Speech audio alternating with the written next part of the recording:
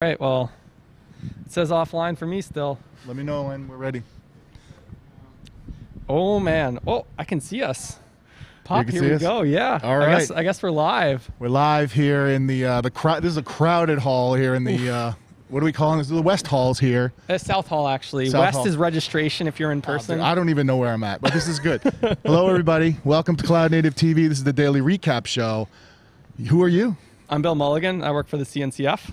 I'm Dan Papandrea. They, they people call me Pop. So today is in a bunch of co-located events. I actually was part of one of them. It Was the EBPF day. Um, Duffie, by the way, is a little late because he's closing EBPF day.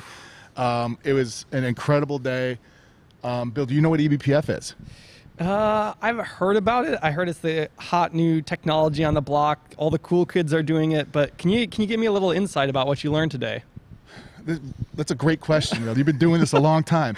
Um, so, like, basically, eBPF is uh, enhanced Berkeley packet filtering. It's basically like a tap into the kernel. What I love about it, this is CN eBPF day, so it's cloud native. So it's a lot of projects like Cilium, like Falco, which is I'm the community leader for, and as well as we had Microsoft. So Microsoft had a, had a um, purchased a company called acquired a company called uh, Kinvolk. And so they were part of this. The whole day we're just showing folks uh, end user stories. So Apple was there, Google, um, a bunch of you know folks came on um, and talked about how they're using EBP, eBPF. Wow, that sounds like a great event. And what was your favorite talk from the day? Uh, the Apple Falco talk, not just because it was, but it was like I'm being dead serious. I mean, they really like it was a back and forth. So I had somebody who was uh, in the in the in the slides, Melissa. Uh, from Apple basically was talking to Eric in the slides, was asking a question. He was responding to the question in the slides. It was very cool. I mean, I, again, every one of those talks, I was a part of the program committee. Every single one of those talks was awesome because, which camera on, guys? What, what, oh, right there, number one. Oh, Okay. yeah. Um, uh, you know, everyone is special to me because the program committee was is great. It was Liz Rice, um, Thomas Graf, um, geez, uh, Loris Degioanni from from Sysdig as well, um, and also Andy Randall and Chris Kühl from Microsoft. So uh, it was all these groups we all got together. We had this idea a couple of months ago for it. We talked to Chris Aniszczyk, and you know, it was like, "There's a WASM day. Let's do an E EBPF day." So it really was it it really was good. There was also some other events, right? Yeah. talk about. That's awesome. But before we jump into that, I just want to say if people are wondering what this is right here on my lap, this is an iPad. I'm watching this stream. You can please like comment, ask your questions if you have any comments from us. Looks like we have our first comment. Hello, folks from. Uh, it looks like Carlos from Berlin. Uh, if I Carlos it. Panato. great man. I've heard of him. Yeah, yeah, one or two times. He's um, Sigstore, uh, eh, Falco, and Kubernetes one of the release managers for those. Can you say everything he does in open source in one breath? I can't. I know a lot. Like if you, oh, if it was like a dollar for everything he worked on, we'd be really, we'd be broke. Oh, oh, we're oh, we have the wrong Carlos. So this is a shout out to Carlos from Raleigh, uh, USK native dude. Sorry. Uh, oh, it's okay. the- I the- know. So that's another. It's Car- Carlos in Brazil, is or Uh, no, from Raleigh. from Raleigh. Okay. Who works on Knative. okay. Hey, shout out to you, Carlos. Um, but shout out to the other Carlos as well. Okay. Yeah. All right. So, cool. Yeah. So we had a, a couple other like great. Uh, you know what I realized we didn't do? What? This is a C- this is a disclaimer. This is a Ooh. CNCF broadcast, right? And so we follow the code of conduct. So please, everyone, please be kind and wonderful to one another. And thank you so much for joining the ch- chat. Why am I so animated, Bill? I'm so excited for this set. Did you all see this set?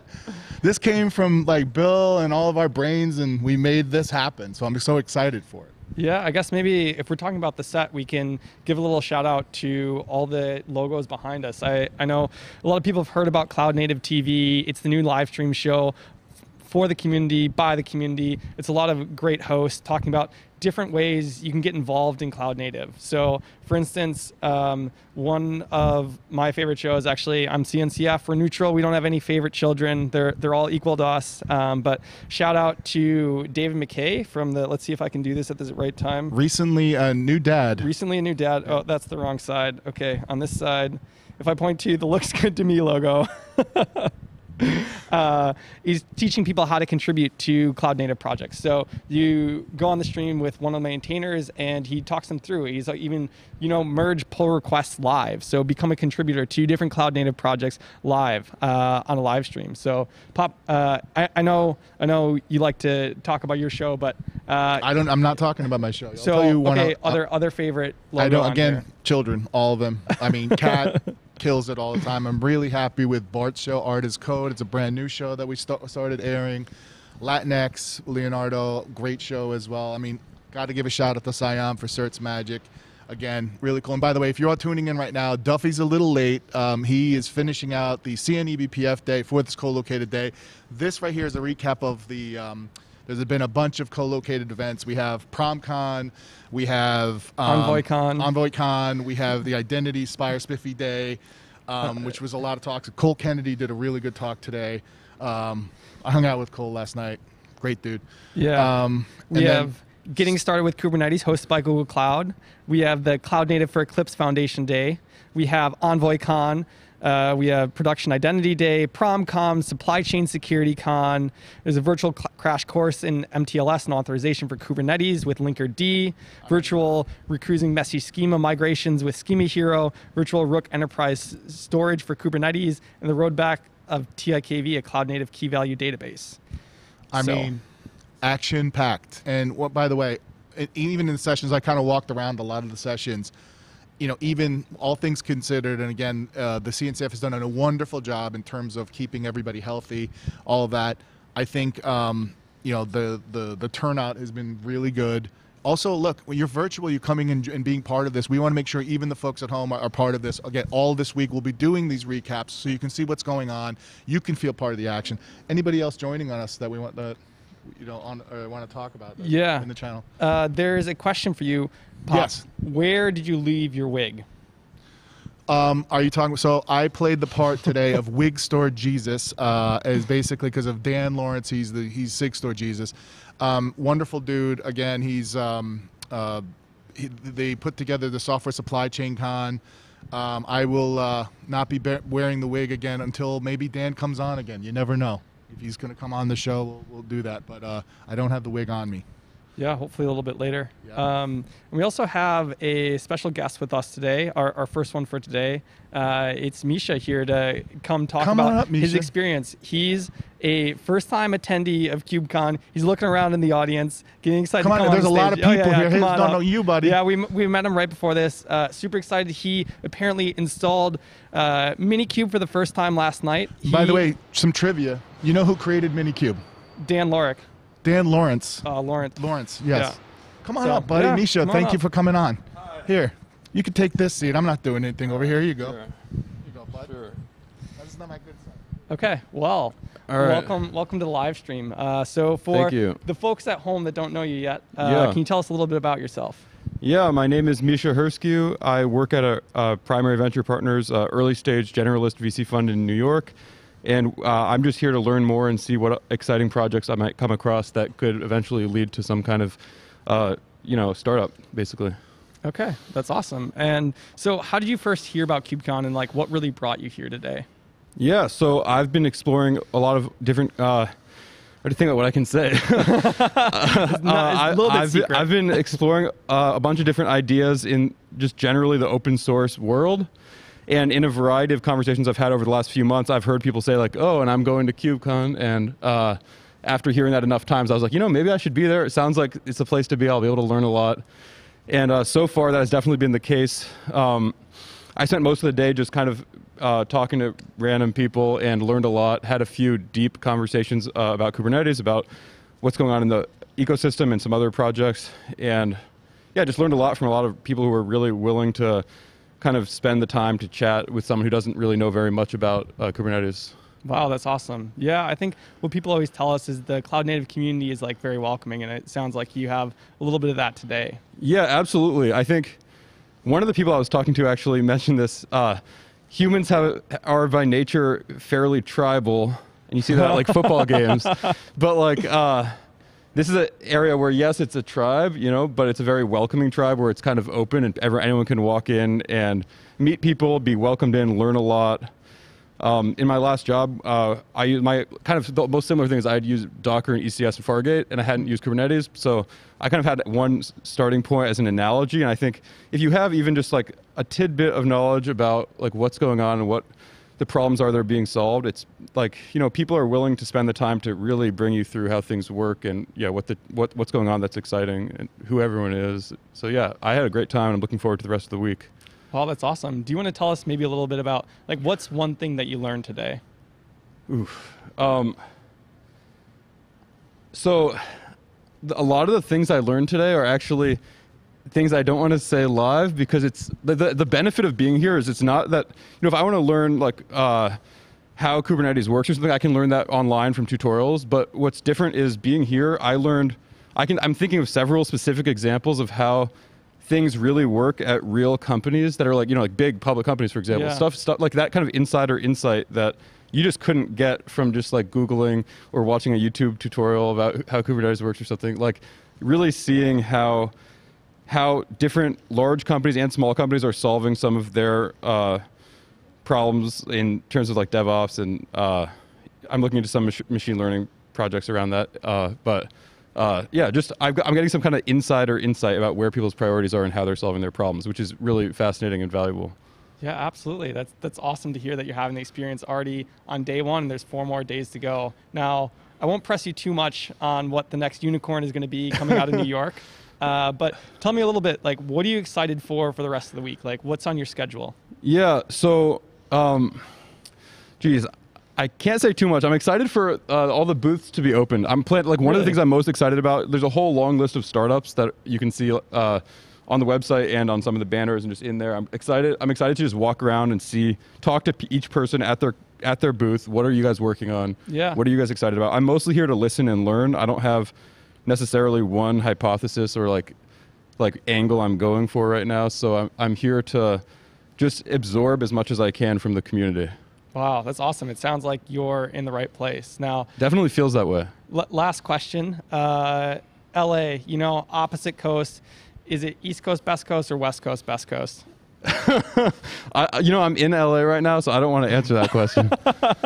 Okay, but what's one thing you're excited for this week in LA? um, I've already been invited to two different parties that are being put on by uh, sponsors of the event, so I'm excited to get out and socialize uh, in a much warmer place. Yeah, awesome. Glad to have you here. And thanks for joining us on the stream today. Yeah, absolutely, and uh, great to meet you. Yeah, so there you have it live. We just picked him up not um, off the conference hall. Um, and that, that is a real reaction to day one of KubeCon Cloud Native Con 20. People really do enjoy KubeCon, Bill. You see that? That's yeah. a real person. This real, real we plucked- interaction. there's thousands of people in the crowd right now, and we plucked that guy out, and it, it's magic.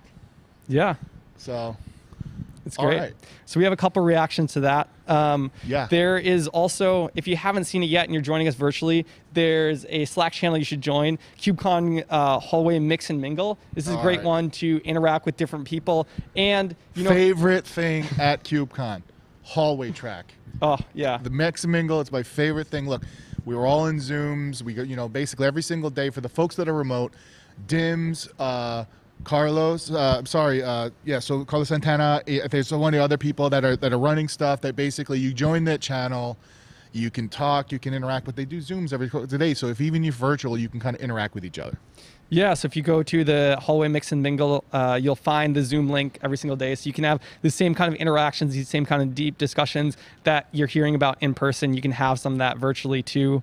Um, uh, a couple other comments uh, from the stream. Uh, learned about the community and how people really use Kubernetes. My first KubeCon was an info overload and shocked by how much reach Kubernetes has. Uh, party with common sense and meet people if you're here in person.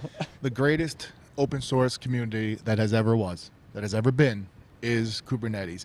The cloud native community is what nurtured that. So today, again, in the eBPF day, we had Sarah Novotny, who's one of the people that is one of the matriarchs of our community. You know, she basically was was helping to like ensure the event. Was, like she talks. She's now in the closing panel as well. But like this whole thing that what we need to do is show inclusion and stuff like that. You know, this gentleman came on stage and he's like, "This is my first KubeCon." Well, we welcome you. And all of us were that one first person, right? So you need to ensure that like people are having a great experience. Yeah, absolutely. You know, it's somebody showing up new every single day. I remember the first KubeCon I went to in Copenhagen. I was like, wow, this is a whole community of awesome people doing great things. Like, how can I be a part of this?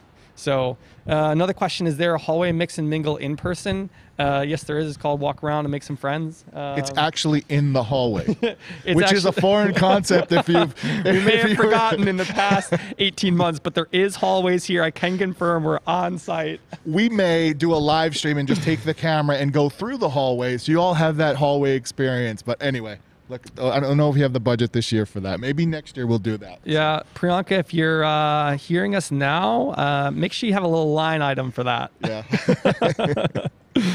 By the way shout out to bill here. Bill has been like he's our cncf liaison for cloud native tv and like, i think this is the first time we've ever been on a stream together dude because we've put on so many streams. I don't think this is the first time we've done one together. That is a very good point. respect. Yeah, yeah, that's I good. put you through hell all right behind the scenes uh, i put this guy through hell so the last nine months have been the worst and best of my life.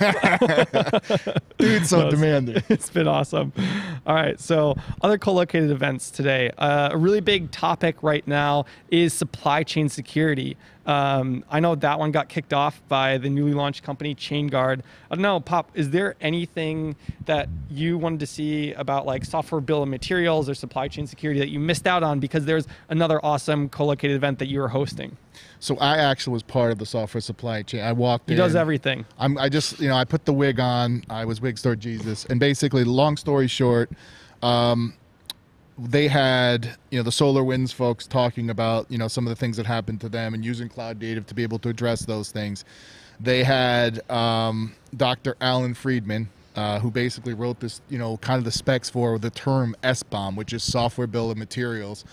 Um, I'm part of uh, Stag Security, so te- you know, technical advisory group, uh, and they're you know building a reference architecture for software supply chain. Which shameless plug for tomorrow, uh, Cloud Native Security Day uh, conf is tomorrow, another co-located event. But again, in terms of software supply chain, um, you know, they hit it out of the park. Also, shameless plug, we did. Uh, there's a video there that we did uh, that that old tripod and the Popcast. Which, by the way, if you haven't seen pop, at Popcast Pop uh, we did a video that talked about Operation SLSA. So it's you know the the SLSA levels, which are like